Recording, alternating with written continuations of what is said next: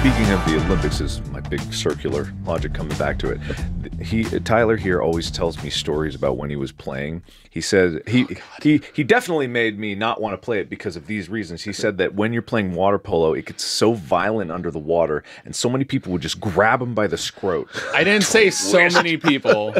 I told you of one story in particular where people where somebody grabbed my teammate. This was when I first joined water polo. It was sophomore year of high school. And my friend Riley Kurtz, we were playing a team that was notably played dirty, who we ended up beating in the state championship uh, my senior year, which is why we called it the Vengeance Tour. We were beating all the teams that beat up on us. But this guy had literally grabbed his his testicles and squeezed, and my friend put him in a headlock and started like slamming him into the water. Wow.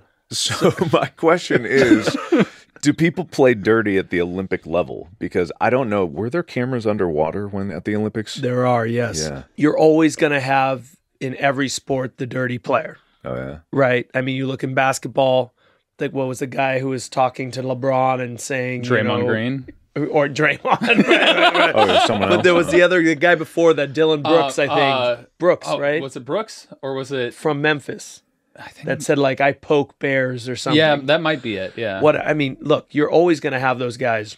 Now, in water polo, yes, you're a little more exposed because all all they see is what's what's above water. But as you get more comfortable and at a higher level, it, it really becomes almost impossible to grab, right? So like I played my entire career.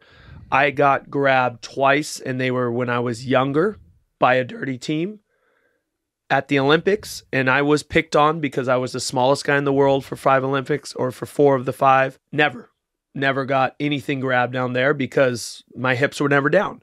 Meaning, if my hips aren't down, if my hips are down, it's like you and I standing face to face. Well, you can grab me, but if I'm like this and my hips are behind me, you can't grab me. The only thing you can do is grab my head, which would mean you're kicked out of the game. Yep. Oh, really? It's That's above instant? the water. If anything out of the water, you grab someone's head, you're out of the game, right? Wow, I didn't know It's that. the exclusion fouls or the the kickouts as we'd call. he was them. Talking about. it. I wasn't listening. He he did a whole primer on water polo for me, and he explained it all. And I, I listened half the time. It's, it's, I swear. You were also really tired that day. In all fairness. yeah, that's fair. Yeah, but also it was the way he was describing it was really boring. He can't, no, I'm just kidding. Just kidding.